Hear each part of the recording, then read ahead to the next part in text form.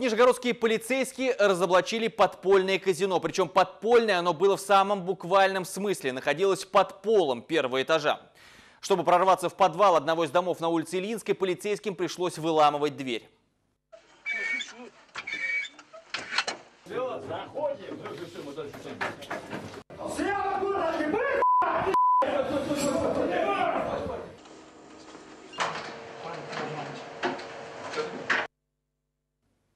Кстати, казино это действовало более года, причем еще в мае организаторы были объявлены в федеральный розыск, но, несмотря на это, игорное заведение так и продолжало работать до вчерашней ночи.